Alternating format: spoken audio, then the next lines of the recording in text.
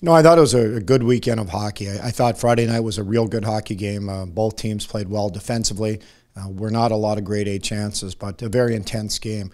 Uh, the thing I liked about our team Friday night was just the defensive uh, posture that we uh, displayed in the game, and I thought Jamie Phillips uh, had a real good weekend overall. And started with Friday night, you know, key saves at critical times, but uh, we played with discipline. Uh, we played well defensively. Uh, we just didn't take advantage of our opportunities. You know, there weren't many penalties in the game, so it was a good, clean, hard-fought game. And you know, going into the the weekend, Lake Superior had only given up eight goals in ten games prior. So, uh, you know, Friday night wasn't out of the norm for them. They, you know, they make it hard to get to the net. Uh, we had to battle, but we made some adjustments going into Saturday, and I thought we did a good job with those adjustments and got off to a great start. One of the best starts we've had this year as far as uh, production uh, four goals in the first seven minutes. But uh, we were ready to go. I give the players a, a lot of credit. Uh, they were focused, they were dialed in.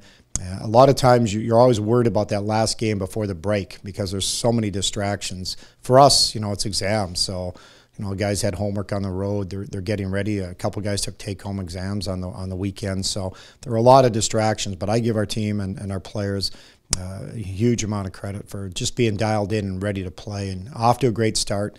Uh, we got pucks through. Our, our, power play, you know, scored uh, two goals in the first period, and uh, and again, at once we got that lead, you know, we sort of sat back. Um, you don't want to do that, but I think it's human nature.